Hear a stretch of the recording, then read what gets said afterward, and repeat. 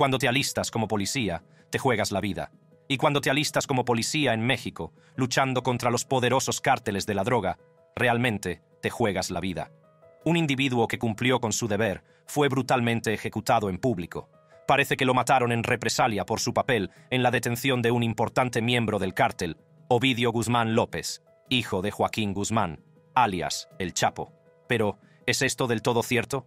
¿Qué grado de implicación tuvo en la detención? Cuanto más se habla del caso, más chocante resulta. Voy a explorar el trágico destino del policía que aparentemente detuvo al hijo de El Chapo, Eduardo Triana Sandoval. El fallecido fue nombrado como Eduardo Triana Sandoval, aunque cuando se anunció el asesinato en 2019, las autoridades se refirieron a él simplemente por su nombre de pila. Su comunicado oficial dice, la Secretaría de Seguridad Pública del Estado lamenta el fallecimiento del elemento de la Policía Estatal, Eduardo, quien perdió la vida este miércoles en la capital sinaloense. Continúa diciendo que ofrecen solidaridad a los amigos y familiares de la víctima. Está claro que se trataba de un colega y agente de la ley respetado. De hecho, Sandoval era miembro de una unidad de élite de la Policía Estatal, encargada de proteger al subsecretario de Seguridad Pública. Para subrayar la importancia de la muerte, el propio subsecretario acudió al lugar de los hechos tras la trágica noticia. Hernández Leiva iba acompañado de su jefe, Cristóbal Castañeda Camarillo. Sandoval rondaba la treintena, con informes contradictorios sobre su edad exacta había ingresado a la policía en 2013, por lo que su carrera se vio trágicamente truncada. Voy a entrar en los detalles de su ejecución pronto, pero por ahora todo lo que voy a decir es que al parecer era un oficial valiente que se desvivió por servir a la fuerza. En cuanto al papel que desempeñó Sandoval en la detención de un tal Ovidio Guzmán López, bueno, estoy a punto de hablar de ello. El hijo del infame capo de la droga, El Chapo, fue capturado por las autoridades en octubre, un mes antes de que Sandoval encontrara su fin no fue una detención sencilla, sino que se saldó con un derramamiento de sangre y supuestas repercusiones. Veamos qué ocurrió cuando los militares creyeron haber capturado a Ovidio Guzmán López. Arresto 2019, 17 de octubre de 2019. La ciudad de Culiacán, al noroeste de México. Es la capital del estado de Sinaloa, un nombre asociado, por supuesto, al formidable y mortífero cártel de Sinaloa. Los militares se han centrado en el barrio de Tres Ríos, donde se ha localizado a una persona de interés en una casa de allí. Ovidio Guzmán. López es la figura de alto perfil que ha sido localizada en esta zona de lujo. Uno de los grandes nombres del cártel de Sinaloa se puede decir que lleva el negocio en la sangre. Al igual que Guzmán padre tiene su apodo de El Chapo, o Bajito, su hijo también tiene un apodo. Se trata de El Ratón, que en inglés se traduce como The Mouse. En fin, lo que debería haber sido una victoria para los militares acabó siendo un desastre. Les contaré cómo se desarrolló la explosiva situación y también mencionaré cómo Eduardo Triana Sandoval se vio envuelto en el drama. Según describe el sitio web Daily Mail, Guzmán López es detectado en la propiedad a las 2 de la tarde. En menos de media hora, las autoridades tienen rodeado el lugar.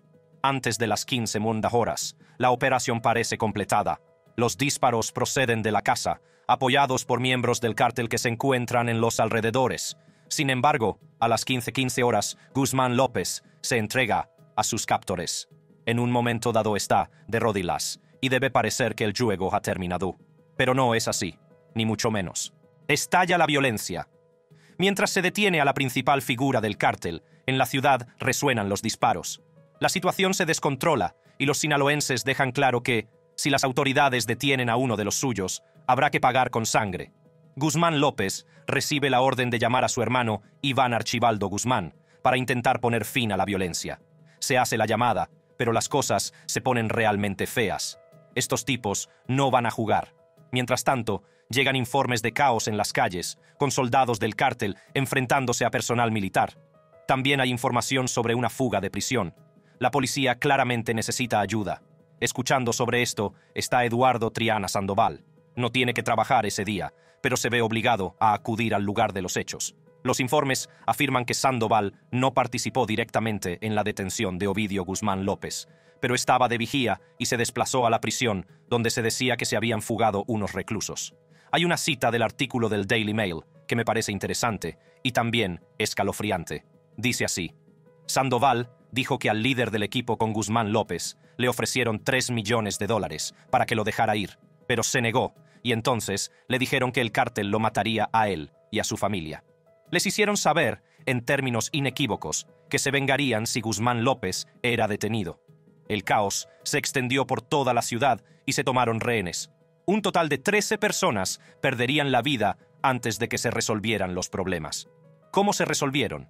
No a satisfacción de los militares, eso seguro.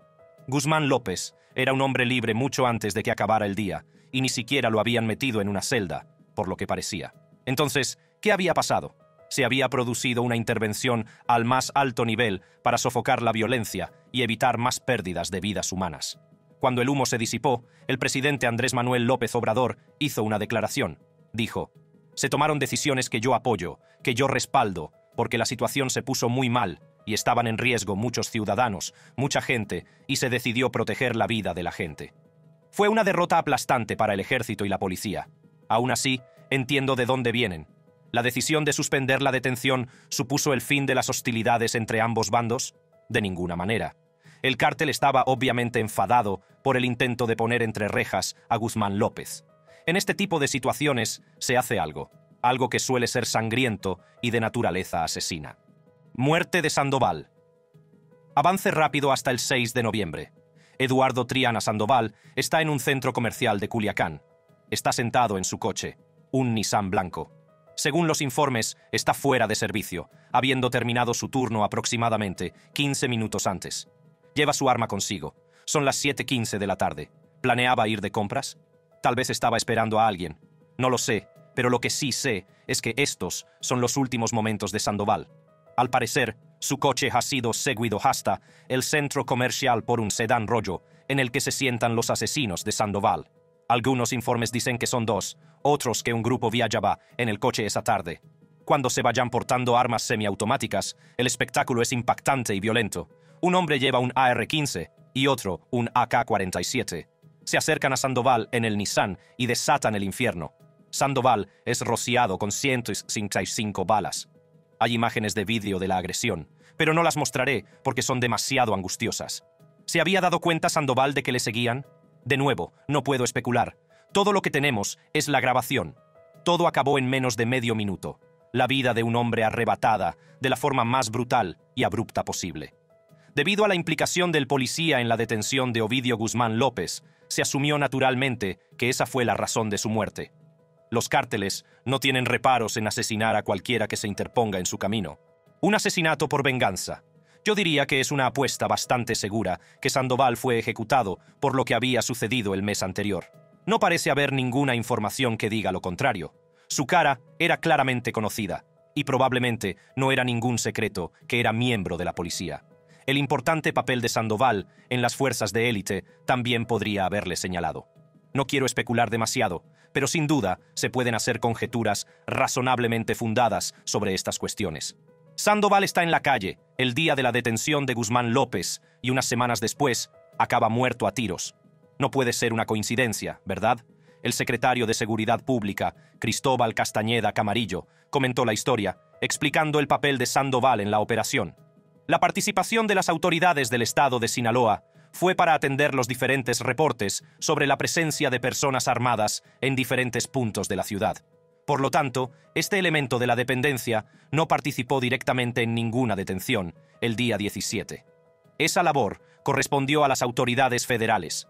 Los militares fueron los que rodearon la casa en la que se encontraba Guzmán López, así que lo que Camarillo está diciendo es que la policía proporcionó apoyo durante el caos que se desató. Ni ellos ni Sandoval participaron directamente en la detención. Esta explicación probablemente no significó nada para el cártel de Sinaloa, es decir, si estaban detrás de la muerte de Sandoval. No puedo decir que sea absolutamente el caso por razones obvias, pero estoy seguro de que usted puede tomar en todas las pruebas de este video y hacer su propia mente. La muerte se produjo tras una detención fallida, aunque debo añadir que Guzmán López no tuvo tanta suerte. En enero de 2023 fue capturado y esta vez las autoridades no lo perdieron de vista. Explicaré cómo ocurrió esto. Detención de López, 2023. El 5 de enero, Ovidio Guzmán López y otras 17 personas fueron capturados por el ejército. Le habían estado vigilando durante seis meses antes de la operación. Entonces, se lanzó una redada en su casa en el distrito de Jesús María de Culiacán, levada a cabo antes del amanecer. Fue trasladado a Ciudad de México para ser procesado oficialmente, y después un avión lo transportó a la prisión federal de máxima seguridad Altiplano, en la localidad de Almoloya, de Juárez. Altiplano es una palabra española que, traducida al inglés, significa llanura alta. Según la BBC News, la detención del narcotraficante provocó un estallido de violencia. Afirman que las carreteras de acceso fueron bloqueadas con vehículos en llamas. La idea era impedir el avance de la policía. En medio de llamamientos a la población para que buscara refugio, se produjeron saqueos en la ciudad. Mientras tanto, se cerraron los aeropuertos, ya que al parecer se produjeron enfrentamientos en una pista de aterrizaje, entre otros graves trastornos. Alrededor de 29 personas murieron antes de que las cosas se calmaran y Guzmán López pudiera ser llamado legítimamente preso. Entre las víctimas había 10 soldados y una policía, por no hablar de los miembros de las bandas, las autoridades también se hicieron con numerosas armas y vehículos. Se ha informado de que Guzmán López fue trasladado a Ciudad de México en helicóptero, porque se consideró que viajar por tierra firme era demasiado arriesgado. A finales de febrero se supo que Estados Unidos había solicitado la extradición de Guzmán López. Se le acusa de codirigir el cártel de Sinaloa, de distribuir drogas y también de organizar el asesinato de un cantante. ¿Por qué quería supuestamente la muerte del cantante? porque no querían actuar en su boda. Si eso no es un recordatorio de lo peligroso que es estar vagamente vinculado a los cárteles, no sé lo que es. Eduardo Triana Sandoval quería ser mucho más proactivo en la oposición a su influencia, y trágicamente fue asesinado en el proceso. ¿Quieres saber más sobre los cárteles de la droga mexicanos y la gente que lucha contra ellos? Aquí tienes otros de nuestros vídeos que exploran en profundidad las historias que se esconden tras los titulares.